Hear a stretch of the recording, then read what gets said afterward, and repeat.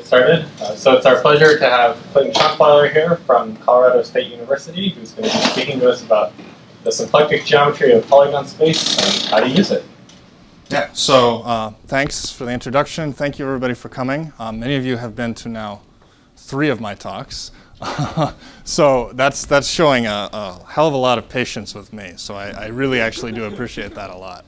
Um, so, all right, so the the, the title is sort of fairly explanatory of what I want to do. I want to talk about polygons. I want to talk about symplectic geometry. I want to talk about how the two come together. And I also want to talk about connections to polymer physics. Um, so many of you were at my talk yesterday where I described a model for closed, relatively framed polygons in R3 where you fix the total length, um, but otherwise don't have any sort of control over the edge lengths. And the, um, the basic object, the moduli space of these things, was the Grassmannian of two planes in Cn. Um, and if you weren't to my talk yesterday, um, it's not so important exactly how this works, just to say that there is some sort of connection between a certain class of polygons, just meaning you have these piecewise linear embeddings of the circle into R3, and there's this connection with um, the Grassmannian of two planes in Cn. Um, and so, like I said, that model didn't really have any restrictions on the edge lengths other than that the total length of the thing was equal to 2. Um, and it also includes this framing information, which is maybe physically meaningful and maybe not. Um, so you could ask, well, what if you don't care about the frames, but you do care about the edge lengths? And so in particular, people are very interested in the situation where all the edge lengths are equal to each other. So so-called equilateral polygons. Um, and this is a totally heuristic and completely false picture of the Grassmannian, um, but so it goes, right?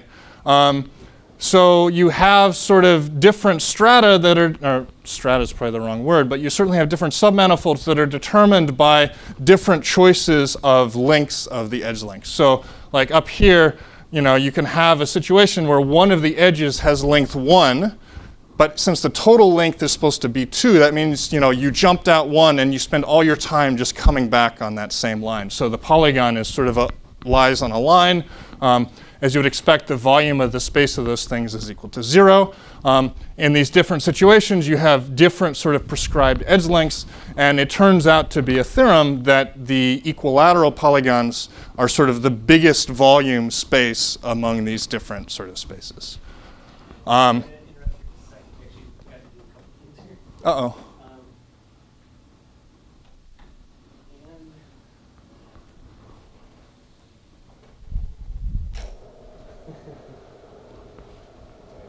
No problem.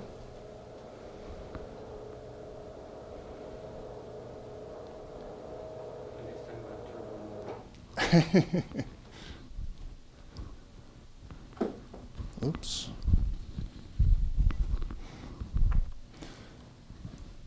Okay, so um, the basic idea is that somehow this Grassmannian is sort of an assembly of these spaces where you fix the edge lengths in advance. Um, and so um, the motivation for all of this comes from polymer physics because these, these you know, closed random walks or random polygons are sort of a very idealized model of ring polymers. Um, so th this is a slide that you saw if you went to my talk yesterday. Um, this is sort of the first example of knotted DNA that was discovered. Um, that's a simulation of a DNA minicircle um, from this group in the UK. And the basic idea is to, okay, the, the basic sort of ideal gas law, you know, as the ideal gas law is to actual gases, you know, this you know, random walk model is to actual polymers. Um, so the idea is, okay, you want, you want to model polymer by a random walk. If you have a ring polymer, you want to model it by a random walk that's constrained to close up after exactly n steps. Um, okay, so I want to talk about how the moduli spaces of these fixed edge length polygons fit into sort of the symplectic geometry world. Um, and then how to actually use the symplectic geometry to do interesting things. And then um, one of the really interesting things that you can do with this, with this whole machinery is to come up with really good sampling algorithms. Um, so if you are a polymer physicist, or an applied mathematician who's interested in these random walk problems, um, one thing you want to do is, well, we have behavior like we want to understand the scaling behavior of these things as n goes to infinity. Or we want to get some sense of like how many you know, different knots do you see when you have 1,023 edges or something like that? Things about which you can't really prove theorems, but you can, of course, do Monte Carlo integration if you know how to draw samples from the space. Um, and so it's, it's very important to have very fast algorithms for sampling these spaces. Um, okay, so here's the setup. First off, just classic random walk. You pick a starting point, you choose a direction uniformly on the sphere of possible directions. You take a unit step in that direction. You're at, now you're at a new point. You choose a direction uniformly in the sphere of possible directions. You take a unit step in that direction and just iterate. So, okay, if you mod out by translations, by say picking the first point to be at the origin, um, then you might as well treat these edges as vectors, just they're unit vectors, so they're points on the two sphere. So what you're looking at is a product of two spheres.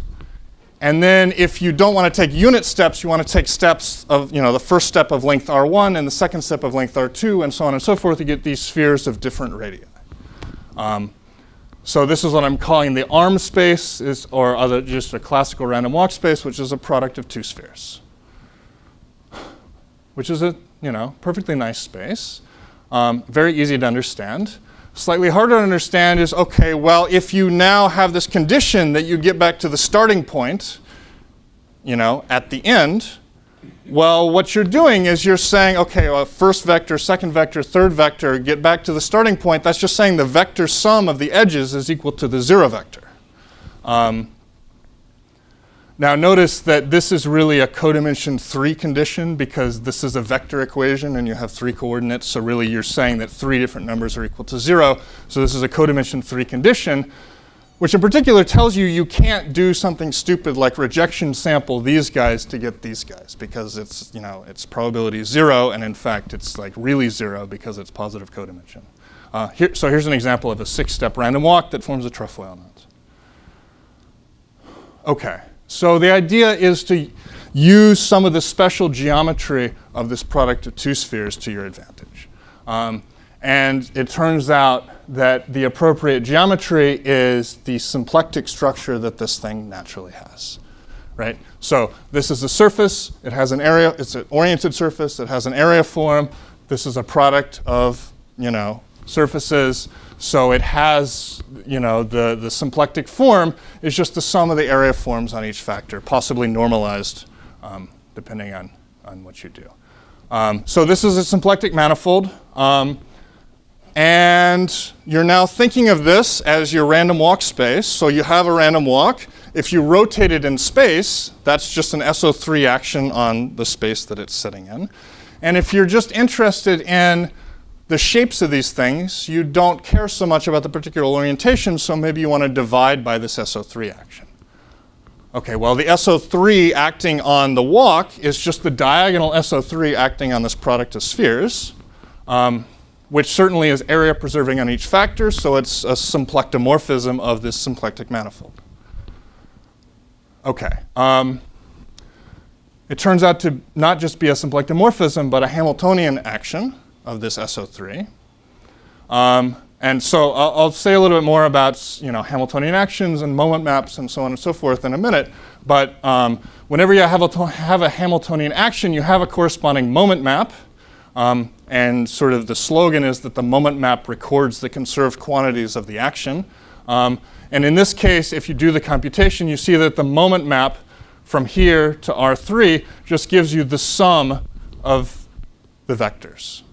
So you have n vectors on the sphere, you take the sum, that's what the moment map is. And so in particular, if you care about the guys that close up, you care about the guys which map to zero, the zero vector, under this moment map. So your polygon space is the inverse image of zero.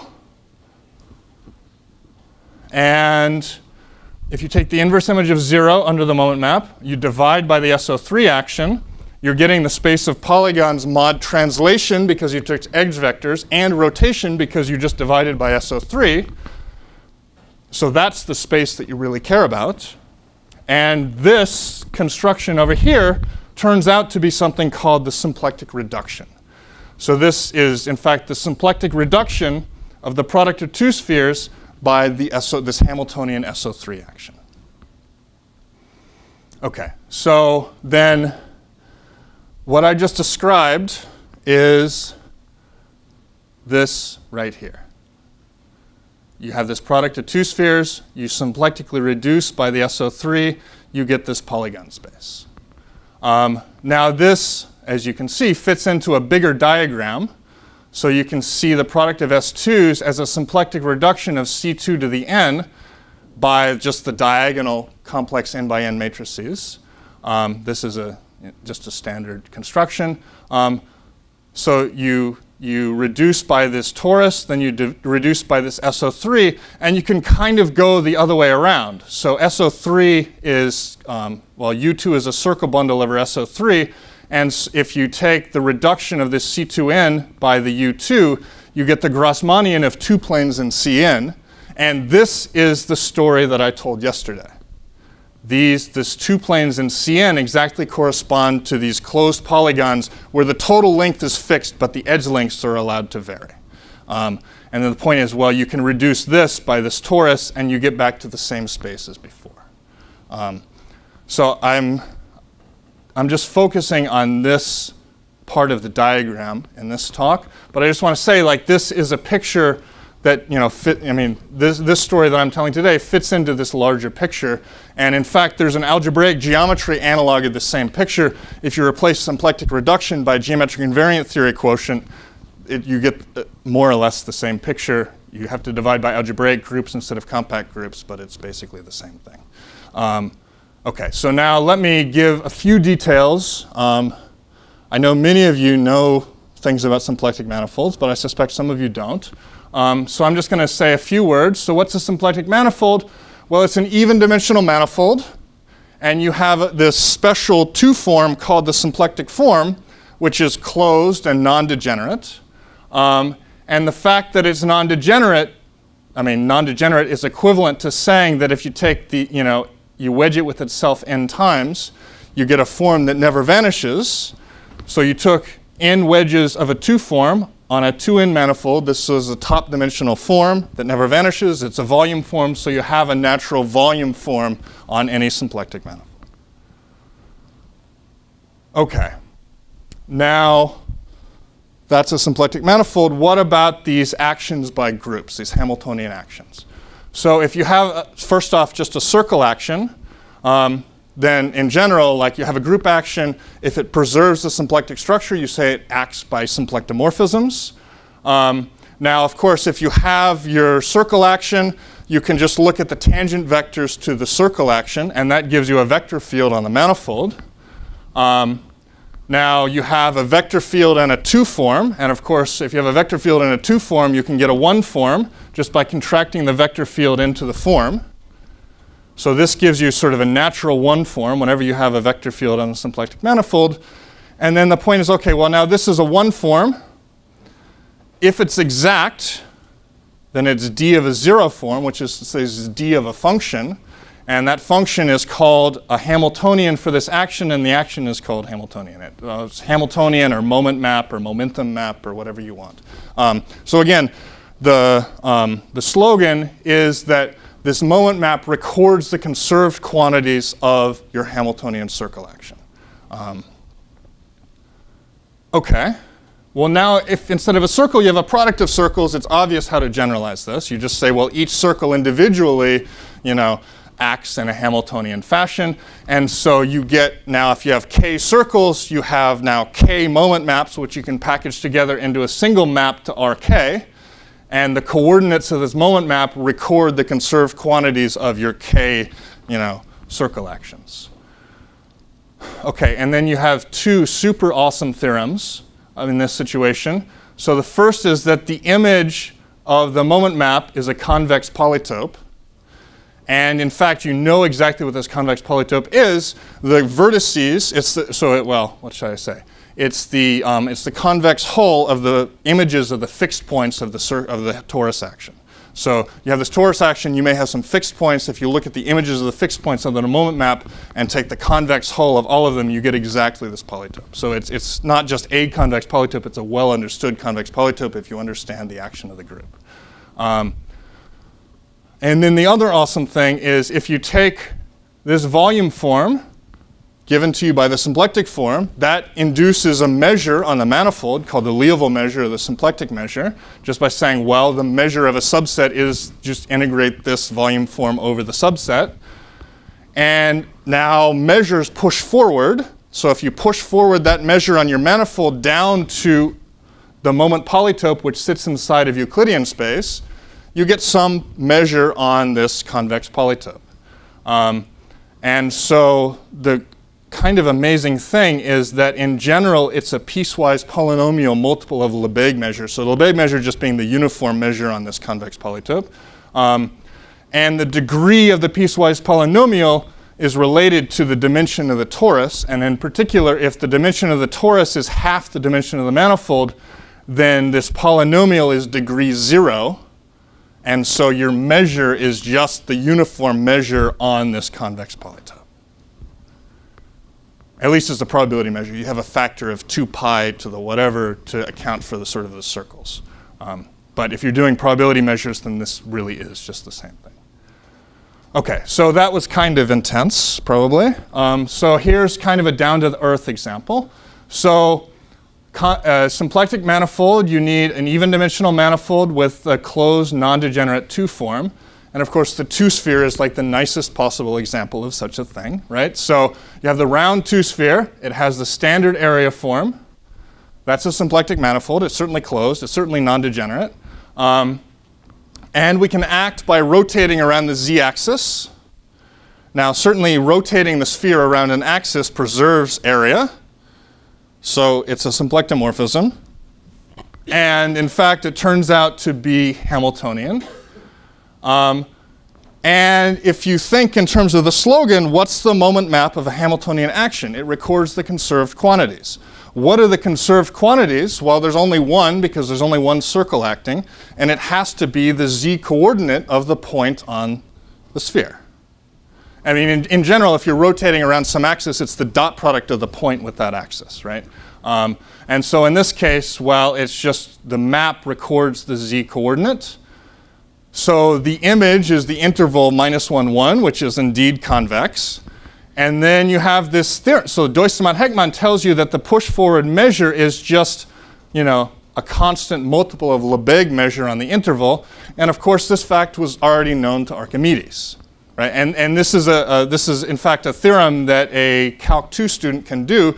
You just need to know, okay, well, if you integrate, if you compute the area of this strip of the sphere contained between two horizontal planes, then its area is just 2 pi times the difference in height between the two planes.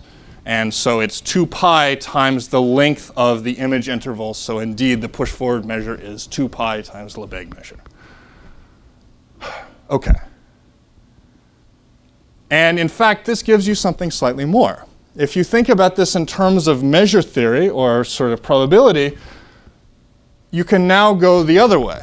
You say, okay, well, if I take a point on the interval from minus 1 to 1 and think of that as my z coordinate, and then if I take an angle, theta, which sits on the unit circle, then I have a map from z comma theta to the sphere by just thinking these as cylindrical coordinates on the sphere.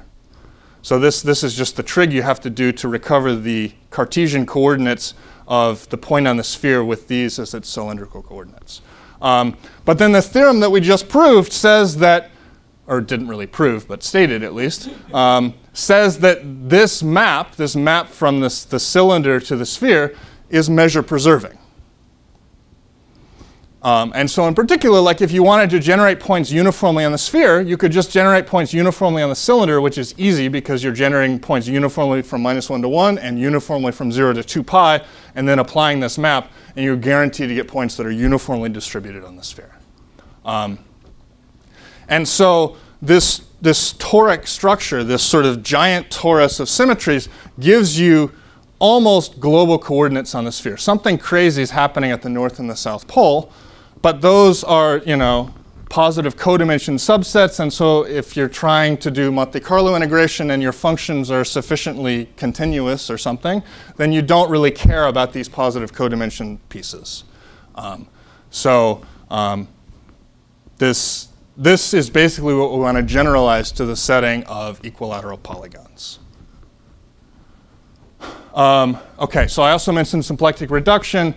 And let me not really say exactly what's on the slide. Let me just say that, okay, you have a symplectic manifold, you have a Hamiltonian group action, you want to take the quotient of the manifold by the action and get a new symplectic manifold. Like this should be what you get because Hamiltonian is sort of the appropriate notion of a, of a, of a legitimate group action in the symplectic category. Of course, it turns out it doesn't quite work because what if your group is odd dimensional? You have your even dimensional manifold, you divide by an odd dimensional group, you get an odd dimensional manifold. It cannot possibly be symplectic.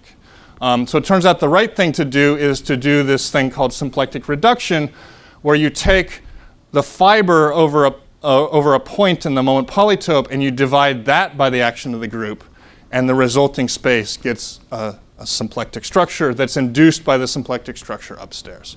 So this double slash here means you, you're symplectically reducing over a particular choice of point in the moment polytope. Um, and it has to be the case that the group actually preserves the fiber. If it doesn't preserve the fiber, of course, this makes no sense. Um, okay. So again, I just repeat this picture. So this is, notice I didn't make these things arrows because you don't really have maps here, right? You don't have a, an actual quotient map in the symplectic reduction story. Um, but this is a symplectic reduction of this, and this is a symplectic reduction of this, and this is a symplectic reduction in two different ways like this. Okay, so that's what gives you the symplectic structure on the space of polygons of fixed edge length. Um, and let me just say briefly that this torus is basically what kills off the framing information that came from your Grassmann, Grassmannian. Um, if you weren't at my talk yesterday, that means nothing to you, but that's okay. Um, all right, so, oh, you know what? I opened this in the wrong thing. All right, let me open this.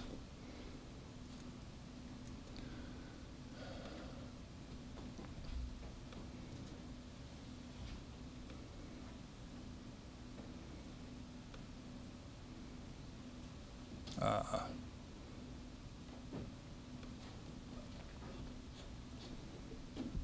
is.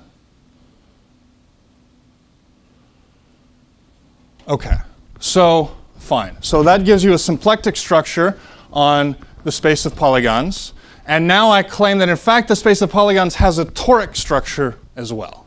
Um, and so now let me describe that to you. So the idea is, okay, I have my n-gon with prescribed edge lengths. And now just think of this purely abstractly, so you might as well take the sort of planar convex one because it doesn't matter. Now pick your favorite triangulation of your planar convex n-gon. So triangulation just meaning you connect up vertex to vertex with, um, with a line segment so that then you've chopped up the interior of this convex polygon into a collection of triangles. Um, and of course, in order to do that, the, these line segments aren't allowed to intersect. Um, and what are some facts? Well, one, the number of ways to do this is the n minus second Catalan number. Um, and when you choose a particular triangulation, you have n minus 3 of these segments, and you have n minus 2 triangles. Okay, so now what you're going to do is you say, okay, well, take this segment. Well, actually, let me show you the video first because it will be more self-explanatory. If I can get it to play. Oh, come on.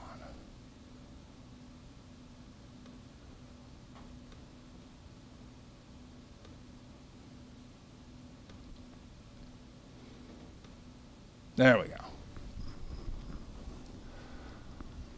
So what you do is you take each of these segments, you treat it as an axis, and you fix one part of the polygon and you rotate the other part around that axis. So here I'm fixing the first two edges, and I'm rotating the rest of it around that axis.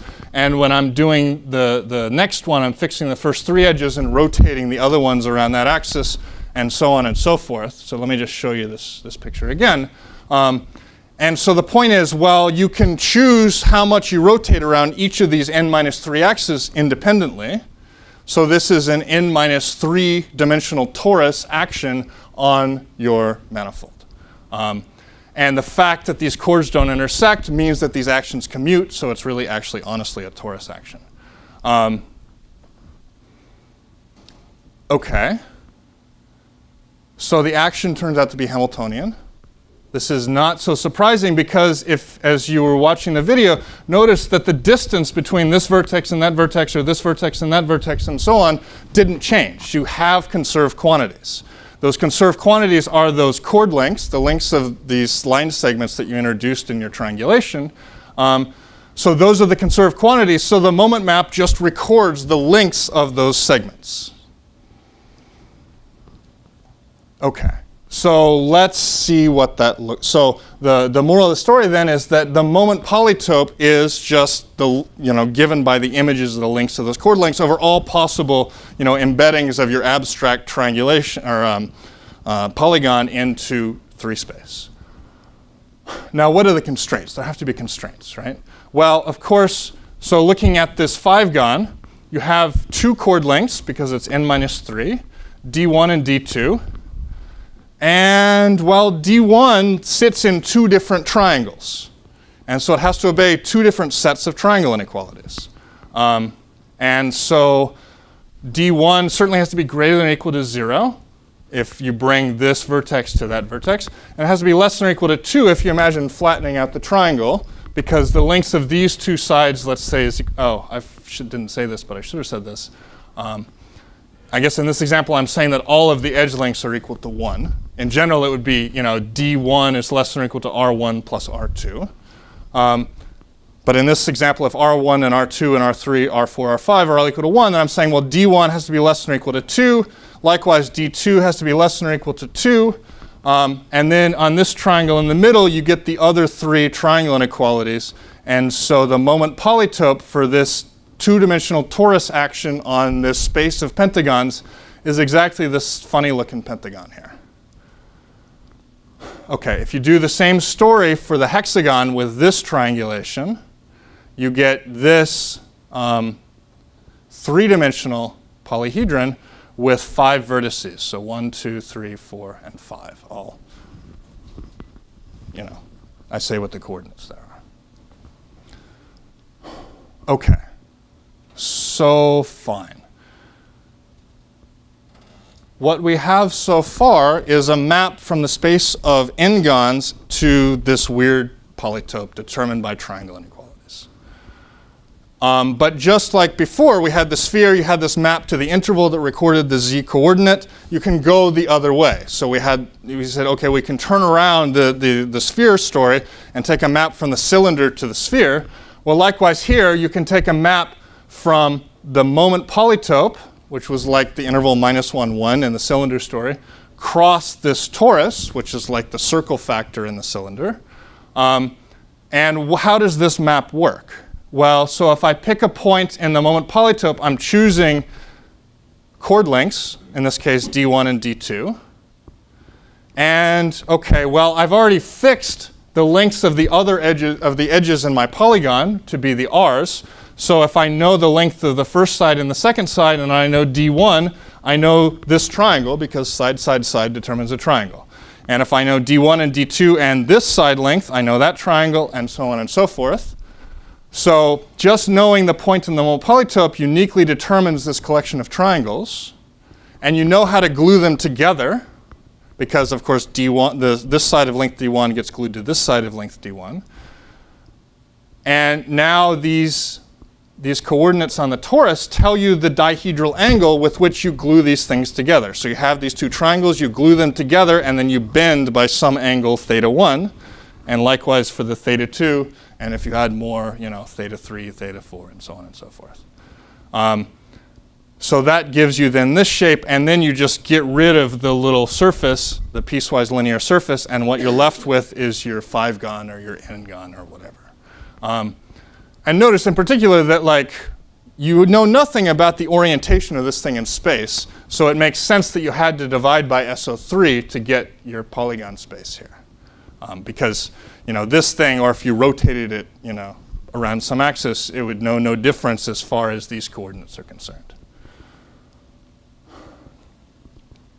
Okay, so the theorem, which is really just a souped up version of this theorem about cylindrical coordinates on the sphere, is that this map from moment polytope cross torus to polygon space pushes forward the standard, just the product measure here. So you have a Lebesgue measure on this factor. You have just the, the, product measure on this product of circles. Pushes forward to the correct probability measure on this space, which is like super cool. Um, and so in particular, what this tells you is if you know how to sample this moment polytope, this weird polytope determined by these triangle inequalities, you know how to sample this space because of course it's easy to sample the torus. And it, you can do this reconstruction map that I showed in the previous slide. Um, so if you have a sampling algorithm for the moment polytope, you have a sampling algorithm for polygons, period. Um, you can also, so I'll come back to that statement in a minute, but let me also give some theoretical consequences of this theorem. So the first of which being, okay, well, consider this triangulation I showed before you where you connect all the vertices to, say, the first vertex. Well, then if you want to know the average vertex-vertex distance from the first vertex to the, you know, kth vertex, well, that's just the length of that chord connecting the first vertex to the 17th vertex. But that's just a coordinate of the moment map, which is to say the average of it is going to be the average of the appropriate coordinate of the moment polytope. So all you have to do to compute expected values is find the center of mass of the moment polytope, which is not so hard. Um, so I just show you sort of a table of various values you can get. So this is saying if you have a quadrilateral and you connect the first vertex to the third vertex, then the average value of that distance is equal to 1. Um, and if you wanted like the variance, you would take the second center of mass of the polytope. Or if you want, you know, the kth moment, you would take the kth, or I shouldn't say k, the pth moment, you would take the pth center of mass of the moment polytope. Um, so you're turning these questions about expected vertex-vertex distances, which are really important in the polymer world because they want to know what's the size of the molecule. Well, one way of measuring the size is just to measure the diameter, which is sort of the largest of these vertex-vertex distances. And so they are really, really interested in these vertex-vertex distances. Um, and let me just say, like, okay, these are small values, but you can also do big values. So here I have 112 gon, and I'm taking the chord that connects the first vertex to the 38th vertex, I think. Um, so I'm skipping 37 edges. So this is some rational number. This is a 205 digit integer in, in the numerator and a 204 digit integer in the denominator. Um, and so in particular, like the fact that it's, you know, coordinates of the center of mass, and it turns out that all of the, if, if for example, you take equilateral guys where all of the, the side lengths are equal to 1, then all of the uh, vertices of the moment polytope have to be at integer points. And so in particular, the center of mass has to be have rational coordinates, which is like totally not obvious just from looking at this, that all of these expected values, and in fact, all of the moments of these quantities should be rational numbers. That's kind of weird and surprising. um, another thing that you can do is you can use these coordinates to prove this theorem, which says at least half the space of equilateral hexagons is unknots. Um, and this is um, not a computation I want to show you, but it, you know, it's kind of a, a, a cool geometric fact. Um, it basically, it, it, corresponds to the fact that you know that if you, if you have a hexagon that forms a trefoil knot, then all of these dihedral angles have to either be between 0 and pi or between pi and 2 pi. So they're either all, you know, 0 to pi or all pi to 2 pi, and that's like one-eighth of the total torus of possible dihedral angles, and then you do some analysis. Um, so that's a lower bound on the probability of being an unknot. But if you now do some numerical experiments, you see that it's a really crappy lower bound, like really, really crappy. Um, because in fact, it's about you know one in 10,000 of these things is not the unknot. Um, but it is a lower bound, and it's the only lower bound that anybody knows. Um, but of course, what you should ask is like, well, how? I mean, this is a pretty precise statement. With 95% confidence, between 1.1 and 1.5 out of 10,000 are, are uh, knotted. Um, and the only way we can be so precise is to give like a really rock solid sampling algorithm with really good error, you know, ways of computing error bars.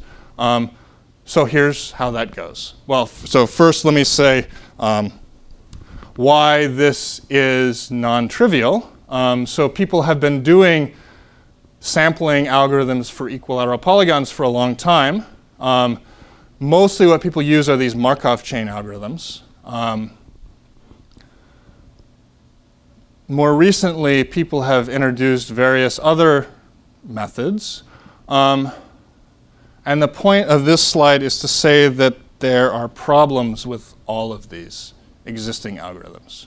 Um, in particular, the Markov chain algorithms, it's not known, it's not actually been proved that they converge to anything, um, let alone to the correct thing. Um, everybody believes that they do. So I, am not claiming that these actually don't converge. I'm just saying that nobody actually knows whether they do or not, but everybody kind of believes that they do. Um, and then these direct sampling algorithms, well, this is sampling some discrete subset of this manifold. So that, and it's totally unknown, like whether that discrete subset sort of covers the space uniformly or whether it's sort of not doesn't cover it uniformly. Um, this, it's not so clear what's going on. This it works, but it's computationally disgusting and horrible. Um, you have to use like rational arithmetic, and you're, you're, you're, you have the, you're sampling these densities, um, these distributions whose densities are like these weird polynomials. And if you try to write down the polynomials, say for n equals 100, you get like a 50 megabyte text file, and it's just really um, not, not numerically very tractable. Um, Okay. But I claim that there's a better way, and the better way is to just sample this moment polytope. So here's the idea. Um, so first off, I'm just going to focus on this particular choice of triangulation for each end where I connect all the vertices to the first vertex. Again, there's a Catalan number worth of different triangulations you could choose, and it may well be the case that different triangulations are much better actually than this one but this is the one where I know what everything is. Um, and so again, these are just the triangle inequalities you get when you just write down all of the triangle inequalities. You're saying, well, the first D1 is between 0 and 2. The, D, the last one is between 0 and 2. And the rest of them have to satisfy the triangle inequalities that are kind of obvious. You know, this plus this has to be bigger than this. This plus this has to be bigger than this. And this plus this has to be bigger than this. So those are the, the three that you see in the middle. Okay. Um, now you do a change. So this, these are kind of weird, these inequalities, and the, the polytopes you get are kind of weird and asymmetric. Um, so, but notice that in particular, like the, dis, the difference between consecutive chord lengths is always between minus 1 and 1. Um, and so this kind of tells you, well, maybe it would be a good idea to change coordinates and let your new coordinates be these sort of consecutive differences. Um, because then you know that your new coordinates are always in the, the cube between minus 1 and 1, rather than in, it's like here you can, you can go out to like n over 2 in general in certain directions, but in other directions you can only go out to 2. Um, so we introduce this change of coordinates where we just choose s's to be these you know, consecutive differences of the d's. Um, and so if you take the sum of all of the s's, you're getting a telescoping sum in the d's. And so in particular, what you get is you get the last one minus the first one. Um, and I forgot to say you introduce these fake chord lengths where d0 is 1 and dn minus 2 is 1. Um, which makes sense because you sort of think of d0 as the length of the first edge and dn minus 2 is the length of the last edge, and those are both 1. Um, so when you do that, the sum of the si's is equal to 0, so the, the last one, of course, is determined by the, all the other ones. Um, so these, these inequalities that I had before become these inequalities here. So the difference of the d's are just the s's, so that's telling you the s's are between minus 1 and 1. The sum of the s sizes between minus 1 and 1 is just saying, well, if you took all of them, you get 0. If you take all but one of them, you just get minus the last one, which of course has to be between minus 1 and 1. Um, and then it turns out that this inequality here, that 1 is less than or equal to the sum of two consecutive guys, is a little bit weird. You get these um, this slightly odd looking inequality here. So you're taking sort of, these are the partial sums of the s's, and these are the partial sums with one more of them. And that has to be bounded below by minus 1. Um, okay, so let me just show you what that looks like. So if I take those inequalities I had bef before for n equals 5, I get this green thing here right? So certainly, you know, you're between minus 1 and 1. Um, and then that, that last inequality here basically says, well, 2s1 plus s2 has to be bigger than or equal to minus 1. And that gives you this line right there. Um, if you do it for n equals 6, you get this, again, slightly odd looking thing inside of the cube. Okay. So that's what our moment polytope looks like after we do this change of coordinates. Now we're trying to sample this moment polytope, and it turns out, and it took me over a year to realize this, that you can sample this thing doing the dumbest possible thing.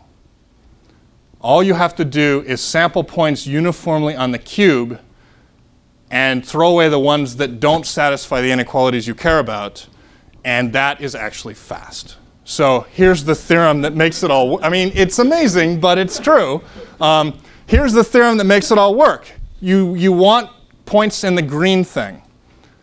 Well, then if you're just rejection sampling the entire cube, the, the acceptance ratio is just given by the volume ratio of the green thing to the whole cube. Well, of course, you know the volume of the cube. It's 2 to the whatever number of dimensions you have, which in this case is n minus 3.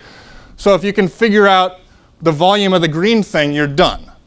Okay, well, the volume of the green thing turns out asymptotically to be this. Um, oh, no, it's not this. This is, this is, I've already done the volume ratio. So the probability that a point in the cube lies in the green thing is exactly this. And notice that, okay, you have some constants, but all you have to care about is the 1 over n to the 3 halves, which is pretty good, right? I mean, this, the, the volume ratio is pretty big. Um, so this is going to tell you if you sample points uniformly in the cube, you know, with probability 1 over n to the 3 halves, you've chosen a point in the green thing, and so it takes, you know, however long it takes to sample points in the cube times n to the 3 halves to sample points in, in the green polytope. Um, and if you spend a year trying to figure this out, you can come up with a pretty slick proof, although it may be completely non-obvious if you haven't spent that year. Um, okay, so first off, Okay, what we care about now is the volume ratio of the green polytope to the cube. And again, we know the volume of the cube. Here is the volume of the green polytope, explicitly written down. Um, this is not a nice expression. Like the fact that you have this alternating term here is really bad numerically. Like, and doing asymptotics with this is also equally unpleasant. Um, so you have like all kinds of almost cancellations, and trying to evaluate this is really nasty. Um, but, oops, I went the wrong way. Here's an observation which um, actually appears in Edwards' book on the integral calculus and something or other and its applications from 1922. Basically, this is a book containing lots of crazy, you know, integrals. Um, like it's like an early version of Gradshteyn and Ryzhik or something, right? Um, which says that if you evaluate this integral, you get this alternating sum. Well, he did it in more generality. You take x to the whatever power you want in the denominator, and you get some slightly more complicated expression. But um, this alternating sum is equal to this Dirichlet type integral. Um, Okay. So we're just going to take that on, it's actually easy to prove, but we're just going to take this on faith.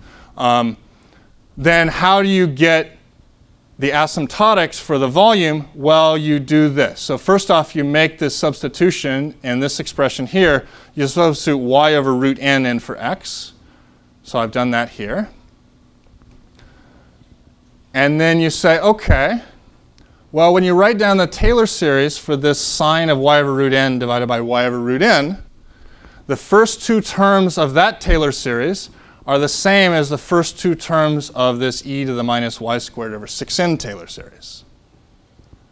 Okay, but that's awesome because now the over 6n and the to the 6n go away and you're just left with this integral, which you can now evaluate using Mathematica if you're lazy, and you get this number here.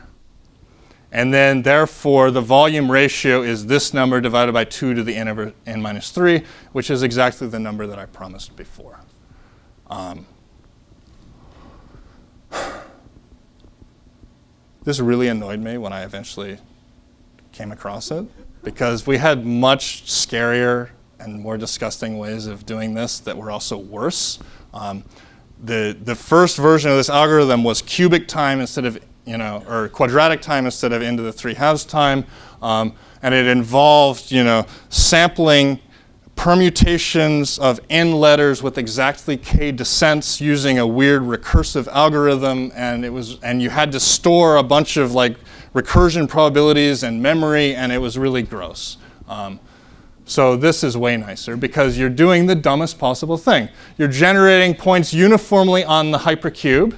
Okay that takes linear time easy you test whether those guys satisfy your linear inequality, your finite list of linear inequalities. Uh, we just said, well, the acceptance ratio is 1 over n to the 3 halves. And then you just change coordinates from s's to d's. You generate dihedral angles uniformly on the torus, and then you say, okay, well, now I have points on the polytope, I have points on the torus, I reconstruct in the way that I showed you before.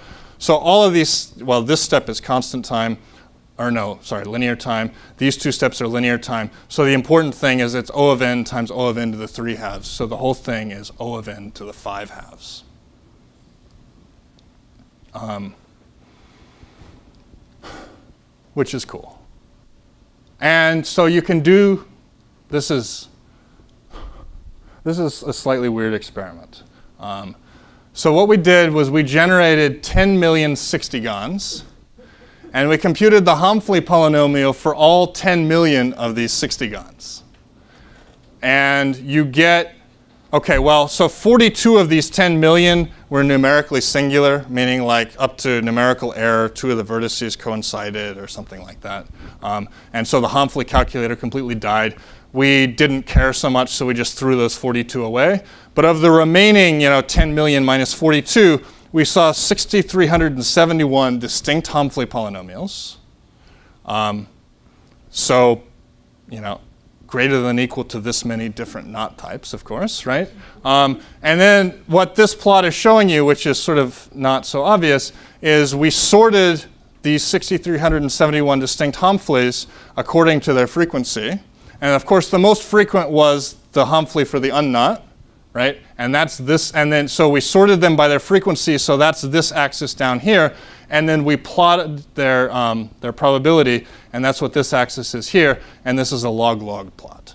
Um, so that's the unknot. These are the left-handed and right-handed trefoils. That's the figure eight.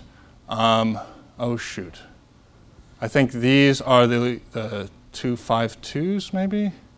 I've now forgotten what all these things are. Um, you have the five twos, you have five one, you have um, one. So granny knot and square knot are in there somewhere. Like anyway, um, yeah, yeah. Oh, for sure, absolutely. Um, and in fact, probably most of these are composite. Yeah, yeah. Um, or certainly many. Well, no, not most of them, uh, but certainly lots of them. Yeah, so yeah, the statement was, oh, so you allow composite ones. And yes, there, you definitely see lots and lots of composite knots for sure. Um, and we chopped it off at a 1,000, so of course this would flatten out because most of these just appeared like once. Um, So, but that's not so interesting. Um, and then you look at this and you say, well, that looks like a straight line. And then you find the line of best fit and it's something gross. But you stare at the line of best fit for like five minutes and you go, well, it's awfully similar to this. So I just, this is statistically completely meaningless. I'm not claiming that anything is going on here. I'm just saying, like, if you plot this function on this graph, you get this line whether this is actually evidence of power law behavior or anything, I am making no claims about whatsoever. Um, I'm just saying that when you plot the frequencies and when you plot that function, you get that picture. Um, but it would be really cool if you could prove something about this, um, in my opinion. Um, how am I doing on time? Okay, I'm pretty much done. So let me just briefly mention like what are some remaining questions you could ask, and the answer is almost everything you, is unknown. Um, so first off, I showed this picture before of symplectic reductions, and I said, well, there's a corresponding picture using projective varieties and geometric invariant theory quotients. So this is the same picture, but now in the algebraic geometry language. And um, as far as I know, nobody has used the algebraic geometry in some essential way to say anything about random polygons. But it's my very strong conviction that there are powerful results one could prove about random polygons by using well-known facts from algebraic geometry. Um, so I would encourage anybody who has any intuition about algebraic geometry to either contact me or just start proving theorems for yourself.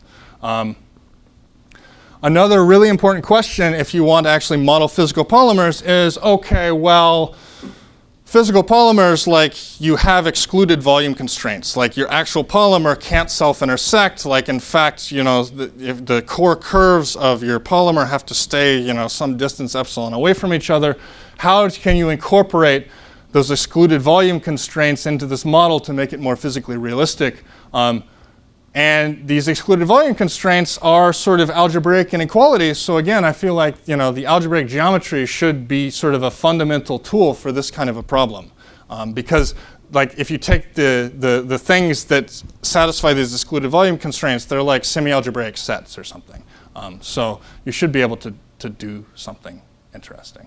Um, another question, which I, I, I talked about yesterday as well, is okay, well, this was just for loops what about more complicated graphs?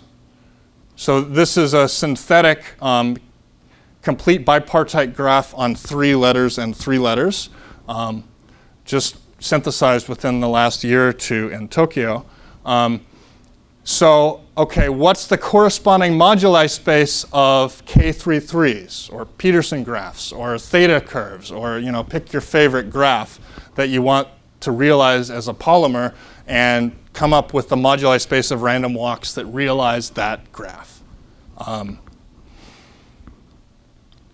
and what about bumping up the dimension? So one way of saying what I've said is, well, these are the moduli space of piecewise linear immersions of the circle into R3, where you have a fixed number of edges and each edge is a fixed length.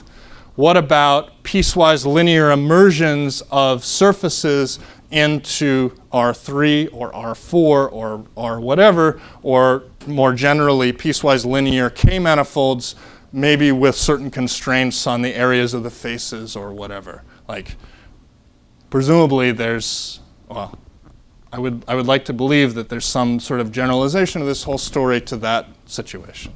Um, so that's all I have thank you very much for, for coming. Does